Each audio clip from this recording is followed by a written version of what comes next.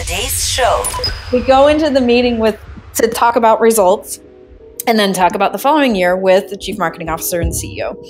And we do our dog and pony show and you know the whole thing and we are just like strutting our stuff. We're so proud of ourselves and I may have broken my arm patting myself on the back. It was just like fabulous work. Yeah. And I will never ever forget this as long as I live. The chief marketing officer said, "This is fantastic." And from a PR perspective, congratulations but sales are down we're losing growers like and and they just like went through all this stuff from a business perspective that was wrong and after i got over the sick feeling it still gives me a pit in my stomach that sick feeling of holy cow really i started to think there has to be a better way Five, four, three, two, one. Welcome to the Creator Institute podcast. Your host, Eric On today's episode, we get an answer to the question of what it's like to be one of the country's top public relations professionals and to try and do PR for your own book.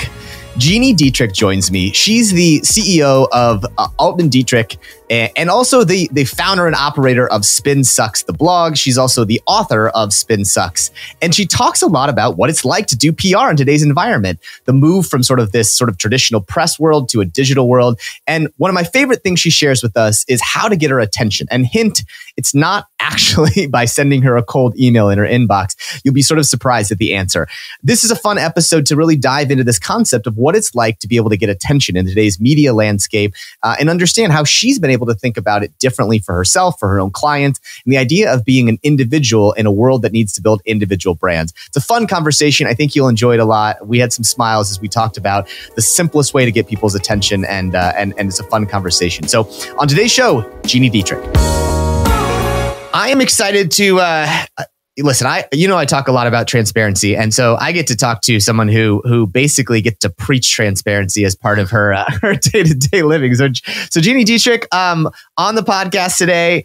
Excited to hang out with someone who got this to live a stint in Omaha as well. So super excited to, to get to hang out today. Yeah, it's so funny we have that in common. I know there's something about being that like kind of good Midwesterners that that uh, that creates creates good things. So, um, so uh, listen, I think one of the things that that I loved in reading your book, and you write a book sort of this funny thing. You write about open, honest transparency and communications in a world that you sort of describe as has a bit of a, a, a negative perception at the the world of of PR. And and I'd love to give a little quote before letting you you talk about attacking the industry a little bit for for what by you say you, what you write in the book is Hollywood has not often been kind to the PR industry. Uh, Wag the dog depicts a spin doctor. Uh, you write about Sex in the City. The character Samantha was a publicist. Uh, you know, reality television star Lizzie Grubman was a work of celebrity publicist, and and you you, you basically lay out the thing that like we've sort of got this reputation of being spin doctors and and then you write a book called spin sucks so tell me tell me how you kind of came to this realization that you had to sort of take take issue and take aim at kind of being more open as an industry Well, when Spin Sucks, the blog launched in 2006, which is crazy to even think about. a decade Um, yeah, it's like, I mean, it's more than a decade old. That's crazy. Um, through my business, I would get so frustrated because people say to you, when you say that you're a PR professional or you're in communications, you know, at a networking event or on the plane or in an elevator or whatever, one of the first things people say is, Oh, you lie for a living. And you're like, No, I don't lie for a living. And that's the whole point is I like, love you too yeah, exactly. Well, thanks. It's nice to meet you as well. Yeah. Awesome. Um, and you know, it's it's sort of always been this way. And yeah, Hollywood has not depicted it well. Pol- politics has not depicted it well. And I, the book or the blog launched in 2006. The book was published in 2014, and now here we are in 2018 yeah with the current administration in the White House yeah with fake news and alternative facts and you know it's this whole world of lies and Right. It's so easy to check facts and Mhm. yet we're still living in this world where people are not transparent or authentic and they do lie and so i think it's even more important than it was when when we published the book Yeah, and and as you you think about it, right? You know, you you, you came out with this message that in some ways, you know, you're you're you're both a part of the industry and a leader in the industry and here's you taking kind of a subtle subtle aim at it i mean Yes. did you were you were you nervous at all to sort of make that claim to sort of to basically you know point out what was what you saw as sort of a big risk to the entire industry I when we started blogging about it, I was nervous and I definitely rode the fence where, you know, I played Switzerland and sort of showed both sides of the story. Right. And that didn't work. It didn't work. Mhm. Hmm. And so then I was like, okay, I, you know, I think I got on my soapbox about something and I was just like rant- ranting, which back in the day you could actually rant on your blog and it worked right um, doesn't work so much anymore, but Right. um, people really responded to it. And so Hmm. by the time the book was published, I sort of had that the the confidence to be able to do it. And you know what it has afforded me is relationships with industry organizations to be able to change that. And so Yeah. now because of the brand that we've built, we're able we have partnerships with the industry organizations to help change it. And I don't think that would have been the case if we had sort of just ma- remained Switzerland. hmm And you, you know, your your your blog is is you know in a lot of ways it is this sort of open, transparent relationship that you have with. I mean, now like almost sixty thousand people, and so you you you you you know you you share openly like mistakes you've made and things that are issues and like people Uh-huh. mistakes in it. What's the like? Does did that take you a, a while to get the confidence to just be that that open, or was it one of those things you're like, all right, here we go? Oh no, it took it, it takes a while and I think you have to see some success before because we're so accustomed to not wanting to be criticized and you know, communicators by trade tend to be people pleasers and so Mhm. not wanting to make anybody mad. And I will tell you, I know exactly the blog post that tipped the scales for us. I was at a conference in 20, 2009 maybe. Mhm. And um, a big name speaker came on stage wearing a backwards ball cap, a torn t-shirt, and jeans that looked like he had just pu- pulled them up off the floor and put them on. He literally looked like he had rolled out of bed. And I had spent $2,500 to attend that conference. And I was Yeah. kind of like, you know, this is not okay. I mean, I understand that we're it's it was an SEO conference and I understand that you know SEO people are tend to be geeky and you know live in their mom's basements or whatever it happens to be, but there's also a sense of professionalism Right. that I think needs to occur. Now, since I I wrote this blog post about and I think it was called why professional speakers shouldn't wear jeans on stage. Something like, yeah. Yeah. Um, I've softened my stance on it a little bit because, you know, you can wear jeans and still look professional. You can wear Mhm. nice jeans with a, a blazer, you know, whatever happens to be. Yeah. So I softened my my stance a little bit. But I tell you what, people came out of the woodwork. People were like, "You're wrong. You're like this is ridiculous." And Hmm. and it it was funny because they were very respectful in telling me that I was wrong, and nobody called me stupid or dumb or an idiot or anything. Right. But to this day, people will say, "Do you remember that blog post you wrote?" And I'm like, Really? "Yeah, oh yeah, yeah." well, it sounds like, you know, I think what you were, what's sort of the difference of being like a troll about it is like you're not being snarky. You're sort of being, you know, you you paint an argument from a logical place, which I think I think is helpful for people to sort of understand is that like Uh, there's something to this being able to be critical from a Yes. place of of you know sort of constructive critical criticism as opposed to like being a troll and i think that's a, a, a line that you have to to to walk on the right side of Well, I think it's really important right now too, and you know, not to to keep bringing up the White House, but Sure. it, there, it's you know, it's this the society culture that we live in right now is everybody wants to argue their point, and Right. they aren't. Most people are emotional about it, not logical about it. Yeah. And there is value. I always say attack the idea, not the person. Mhm. And so if you can take it from that approach, and it goes back to if you took debate in high school or you were part of the debate club, it goes Mhm. back to that. Like you Mhm. you logically attack the idea and the approach versus the human being. Mhm. Because what happens is we tend to attack the human being and that gets us nowhere. Yeah. Yeah, I agree. I think it's I think it's a challenging place we're at, right? Like it's hard to even have discussion Yes. with people, and I, Yes. I don't- Yes. it's hard. It's hard. I mean, growing up in the Midwest, I, I have a lot of friends that I mean, I would call myself fairly moderate, but like, listen, I I'm a East Coast guy now, or like a Coast guy now, so Right. I, I even have a hard time right. even carrying on like a realistic conversation. It's tough, and it's it's unfortunate because I do think that the dialogue is a powerful thing. We just don't do it very well anymore. Weird. And I think social media has made it worse yeah. for us because we tend to get behind our computer screens and just type out stuff that we would never actually say to a person if they were standing in front of us. And that's, I think, the other challenge with, you know, creating content and publishing books and things like that. You know, you want to the th- the kinds of things that attract people are the way that you think in your unique approach to ideas and you know no idea is new but it's in the way that you approach things and the way that you um, articulate things that makes it interesting to people. And mm-hmm. that's unfortunately what sells newspapers. It's what sells magazines and it what sell it's what sells books. Yeah. So if you can think about it from the perspective of let's have a stance but do it based on an idea and not based on a population of people, you're going to be more successful. Right, right. Now, what was the thought process on your end? You, you, know, you had this successful blog. You're building this big community. I mean, you know, you uh, there, there, there's lots of fancy, fancy sort of rankings out there that say this is the most popular or the one of the most prestigious blogs of PR out there.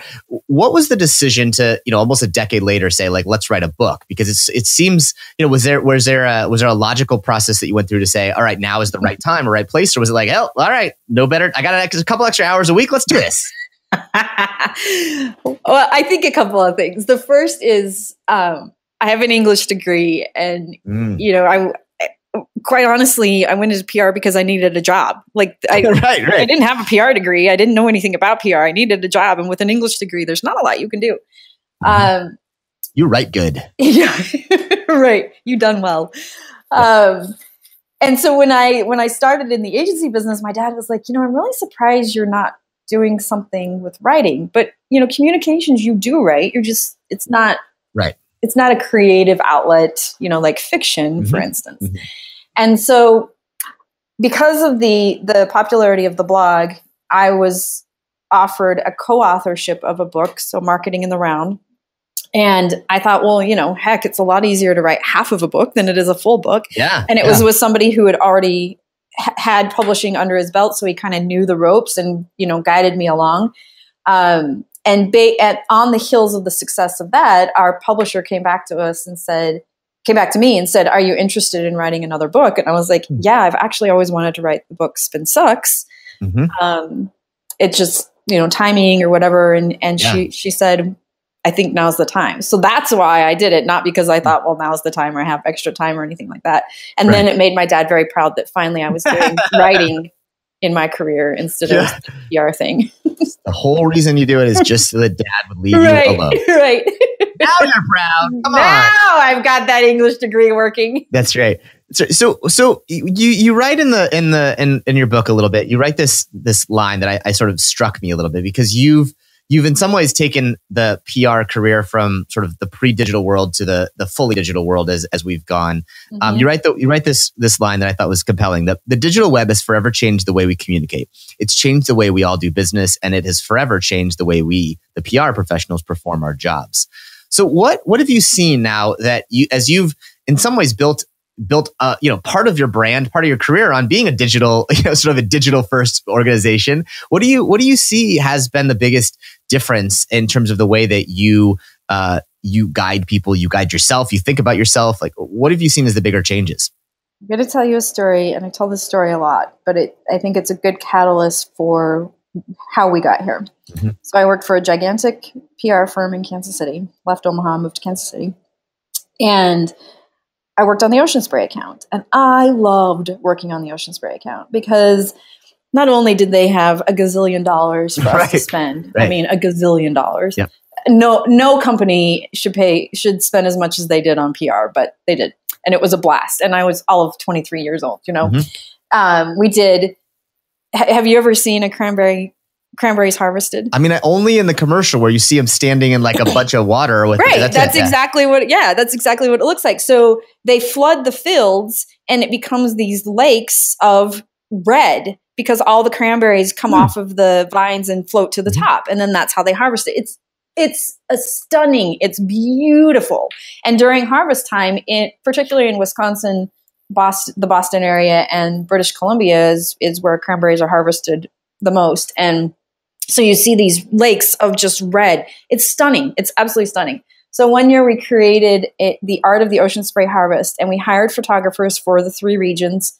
um, to go out and and shoot the cranberry harvest, and then we created an art gallery that traveled, Hmm. and part of that was sampling ocean spray juice and all that kind of stuff. And we had you know stationery, and we we had a, a charity partner. I mean, it was a full on like coup communications uh, plant program, and everybody and their brothers covered it. Good Morning America. We created a cranberry bar- bog in Times Square, and the Today Show covered it. Like everybody covered it, and we were just like. You know, at this point, I think I was 26 or 27, and I'm like strutting my stuff, and I'm well on my way to making partner it. at the agency because we just killed it. Right. we go into the meeting with to talk about results and then talk about the following year with the chief marketing officer and the ceo and we do our dog and pony show and you know the whole thing and we are just like strutting our stuff. We're so proud of ourselves and i may have broken my arm patting myself on the back. It was just like fabulous work Yeah. and I will never, ever forget this as long as I live. The chief marketing officer said, This is fantastic. And from a PR perspective, congratulations. But sales are down. We're losing growers. Like, and and they just like went through all this stuff from a business perspective that was wrong. And after I got over the sick feeling, it still gives me a pit in my stomach. That sick feeling of, holy cow, really? I started to think there has to be a better way. Like, Yeah. if you're going to spend $2 million on communications, you have to be able to show that it translates a return on investment. You have Right. to. Right. Right. And that's a long way to say that the digital web now affords us that because we Hmm. have data and we have analytics and we can track exactly what people are doing and where they came from and you know how they learned about us. You know, it used to be a lot easier because you had the top of the funnel, the middle of the funnel, and the bottom of the funnel and now they come in from all areas and you know a cold lead may come in at the bottom of the funnel instead of the top, which is where you want them. And so, you know, it's it's harder from that perspective because they're coming from all different spots. But you have the data that can show you exactly where where your efforts are translating to a real return.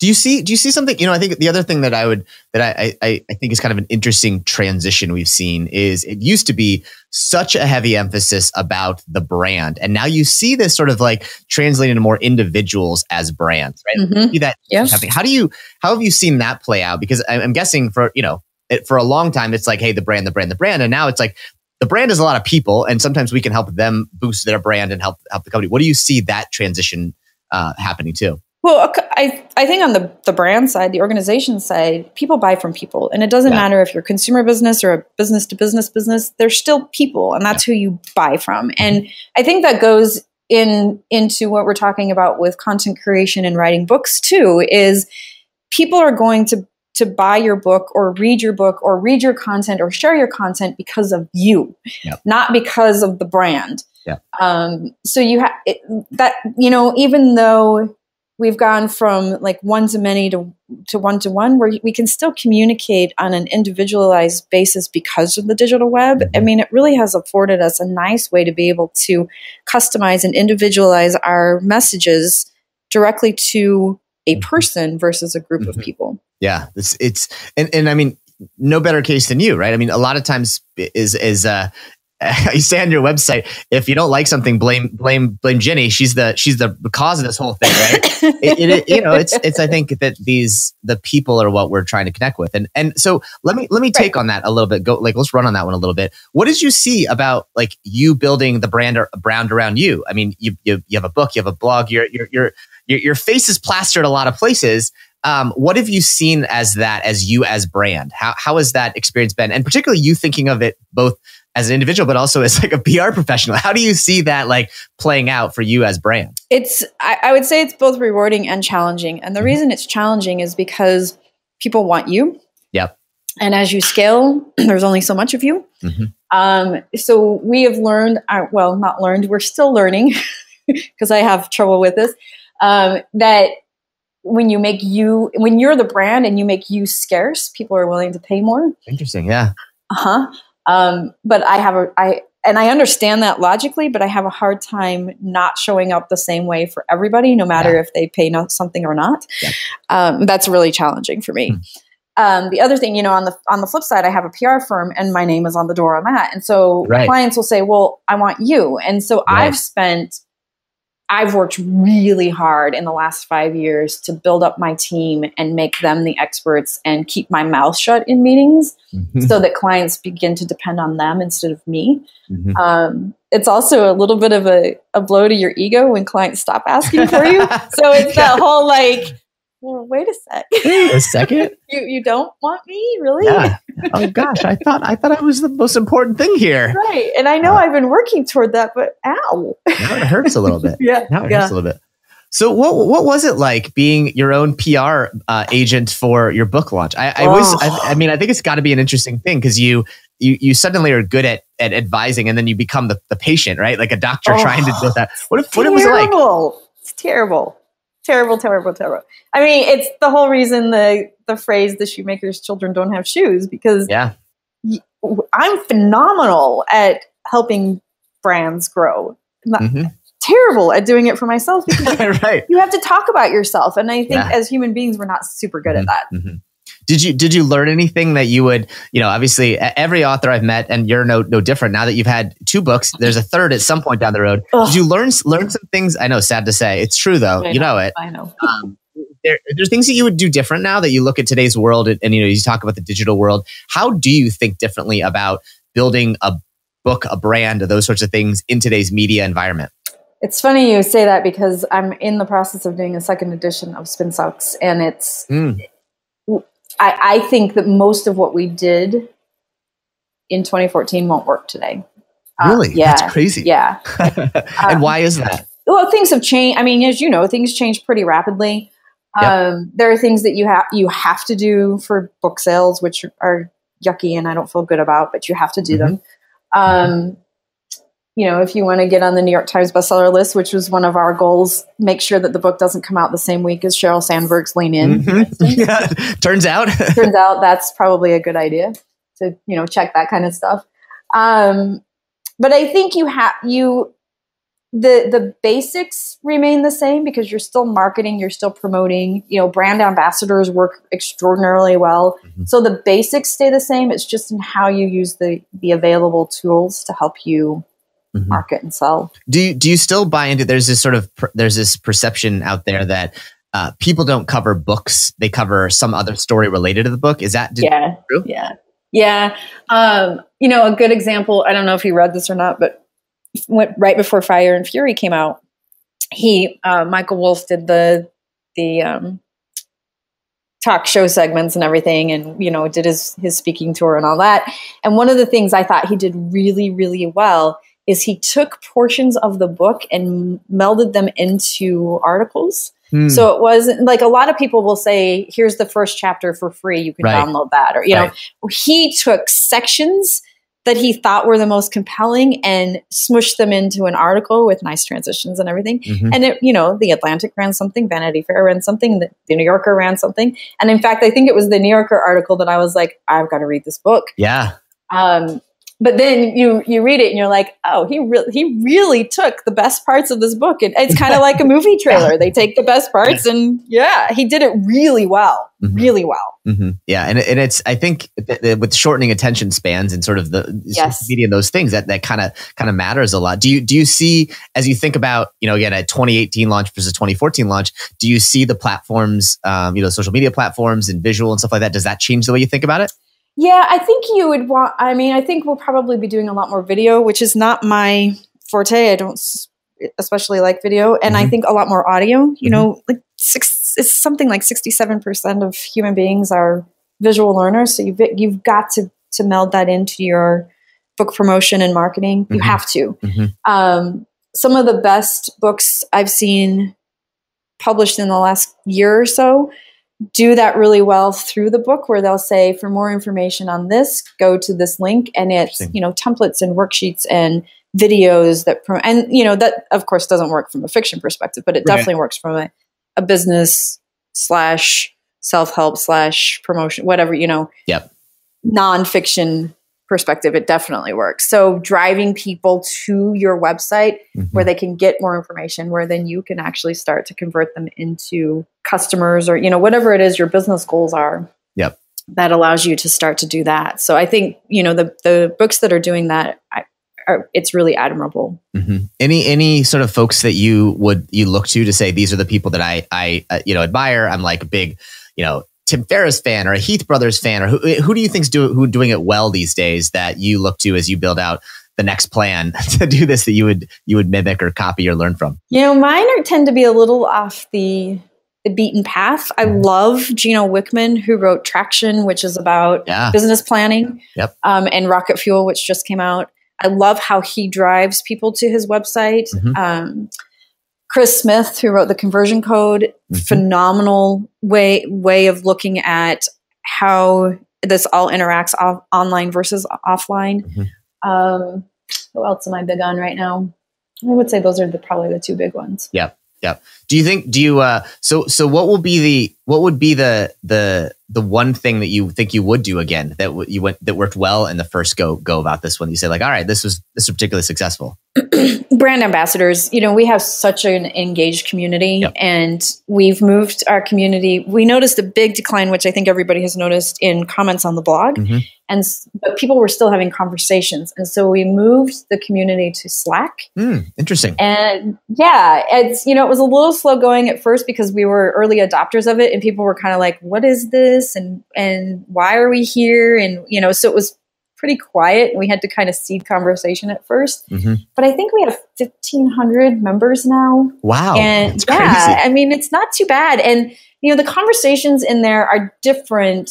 It's, it's what I'll call dark social. It's different than what you would see, you know, on Facebook or Twitter or even LinkedIn, Mhm. where that's more public facing. These conversations are things like, you know, I'm having this challenge with a client and I don't really know how to handle it. What do you Mhm. say? Or, you know, yeah, there, so the conversations tend to be more in depth and heady Yeah, than Wow. they do tend to be on, you know, public facing social. yeah. There's that is like an interesting trend that's out there. This sort of uh, ability to get sort of deeper niches with people. I mean, Yeah. I think it goes back to your, your comment a little bit more about authenticity, transparency, open communications. That I think the in some ways we went uh, to the extreme where everything was open and everything was findable and everything was judgeable. To where like, how do you wind up like finding a safer place where yeah, like it's it's open, but it's also a little bit walled. It is a little bit walled, you know. I mean, people can certainly still take screen grabs and all that kind of Yeah, of stuff, course. but you know, your your boss can't log on and see that you've been on Facebook Right, that's true. because, That's true. right? Yeah. it's pretty well walled off from that perspective. Yeah, yeah, that's really interesting. And uh, uh, did you do you think that that kind of like trend will continue? Like, do you see you know sort of are you pushing more and more people into Slack and seeing that as becoming the place where people are having these these conversations? Yeah, and you know, one of the things that we really weighed doing that versus Facebook group, and of Mm-hmm. course, with the recent Facebook changes, we, we sort of questioned maybe that wasn't the right thing. But what we like about Slack versus face, a private Facebook group is when you log on to Facebook because you're you need to go to the group to Yeah. do something. Twenty minutes goes by, and you're like, "Why was I here?" Yeah, exactly. And, and then you close it, and then you're like, "Ah, I never got to the group. Dang it!" Yes. Yeah. Ah! So with Slack, it's just a desktop application. So literally, if you open it, you're there for one purpose, and you Yeah. don't go down that rabbit hole. Yeah. Yeah. It's it's. I think there's an one of my friends is a is a guy named David Spinks, and he's the the Oh yeah, I know of- David. yeah, CMX, right? And he talks, he's talking a lot about that same thing is that we've sort of like, everyone's talking about community. Everyone believes it's important, but like, we don't really quite have the tools. We don't quite know what it is. And like, there is this, you know, like, I don't know if Facebook is the place I want to go with my professional stuff. LinkedIn Right. hasn't figured it out. Right, So right. Um, there's this, there's this next wave of all this that for, sort of feels like it's coming. And, and I don't know if anyone has quite has it nailed yet. Yeah, I don't know either. You know, it's funny you say that because we just had a conversation internally about this, where we have we have a lot of really good ideas for the community, but there's nothing. The technology doesn't enable us to do it yet. right. Right. So it's kind of like, do I don't really want to spend a hundred thousand dollars to build it inside our website because Yeah. I, I do I agree. I think it's coming, but we may just have to be patient for six or eight more months. hmm Yeah, that's uh, it's certainly is a is a is a new world that we're that we're living in for sure. So so what do you what's the kind of you know obviously you're someone who is playing in this world of of you know media and sort of that stuff. One of the things you know that I work a lot with young folks that are in this like early parts of their career. Mhm. How do how do you advise those folks thinking about this concept of transparency and openness? Right, there's this sort of in some ways it was like everyone was really open, and then people are getting you know dinged for jobs because they have a picture of them holding a beer Sure, sure. What, what have you seen that where is sort of the world landing at this point in, in your mind looking at the balance of transparency versus privacy? Well, I think there's a difference between transparency and being stupid.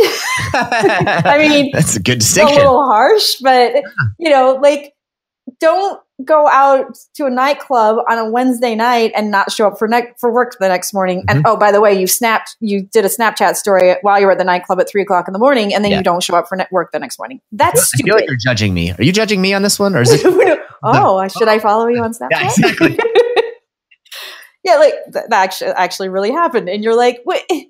Don't be stupid, like, Yeah. Mm-hmm. or call in sick. Like, come on. So you know, while while there's that line of you you can't fire somebody because of what they post on their social, I also still know that you went out clubbing last night and you didn't follow the policy that you have to actually call Mhm. the next morning if you're not coming to work you know so there's there's that and so i think there's you you you want to be transparent and you want to be authentic and you want people to know who you are and what you do and all those kinds of things but don't be stupid about it Yep.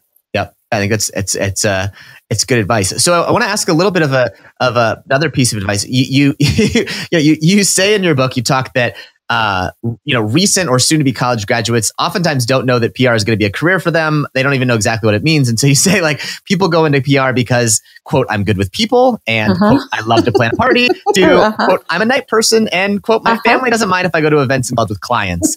so so Uh-huh. you know you, you I'm sure you get people coming to you for advice on, on getting into this career, breaking into it. What are the things that you're seeing today that help people stand out? Because obviously, um, you know, there there may not be as clear of a, a, a you know, there is a PR major or minor for people, but what, what how do people stand out in, in getting into this world today? today it is all about how you represent yourself online and that Hmm. goes from from everything you know to from not snapping that you're at the nightclub at three o'clock in the morning and not showing Yeah. up at work to commenting on blogs and following you know leaders of the organizations where you think you'd like to work on social media and Mm-hmm. You know sharing content. And i mean it's networking but it's networking online as well as offline. And Hmm. tho- those are the people who really stand out. I mean i wrote a blog post today that talks about the idea of of new business development and how every business has to have sales in order to grow. And you know PR people tend to not want to do quote unquote sales because Yeah. it's you know that's dirty, sticky it's and it's yeah, Yeah, snake yeah. salesman. And so but you have you have to have sales to grow a business and a young woman who's graduating in May commented on the blog and and and really all she said was this is such valuable advice for me as I graduate and start thinking about my job and that sales or new business development is going to be part of it. Mhm. And so, so now she's stuck out in my brain because she said, Right. I'm graduating in May. And, you know, like if she, she's networking, she's network and she reached me because she Mhm. commented on my blog post.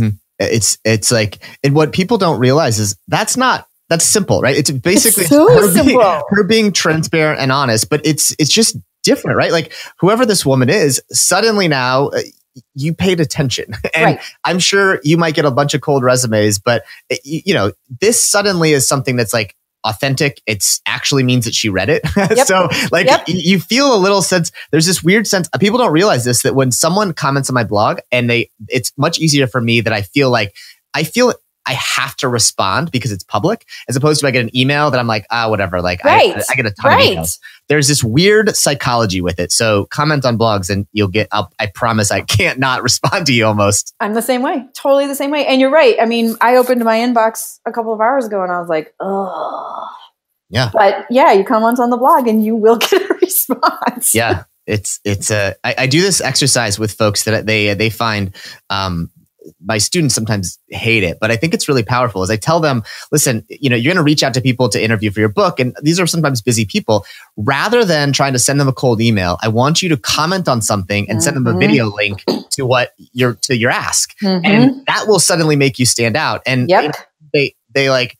Why do I want to do this? I'm going to look like an idiot. But I'm like, no, listen, all you're doing is striking up a totally different conversation. Yes. It's about relationships. You're building a relationship. Yeah. And that the web allows you to do that really well. Yep, Yep, that's that's awesome. So I want to I want to this has been super interesting and I think it's I'll be interested to hear uh, uh, you know probably have a follow-up conversation as you go out and start to think about marketing your book a second time around because I think it's interesting sort of what's going on is there's a, just there is a sense that like it, a book is just a part of a platform, broadly speaking. Mhm. And so Mhm. I'll be interested to hear as you think about it. But it's been super helpful for me just to sort of process some of these these things you're thinking about um, as you go about it. Well, this was super fun, and uh, you know, Spin Sucks the the blog. I I found myself last night. I was flipping through it. There is a ton of stuff on there, and and I, I literally like flagged a bunch of articles that I was like, oh gosh, this is gonna be helpful. So a ton of stuff in there. The book's great, and Thank um, you. super excited to to hang out with a fellow Creighton person. I, only know took that's so funny. one Creighton class, I can say, but it was one of my best college classes. I feel like you and I then have a bond because of our Creighton bond. There we go. I agree.